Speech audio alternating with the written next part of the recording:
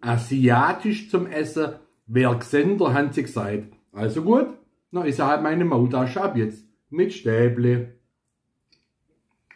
Mmh. Schmeckt viel Xender.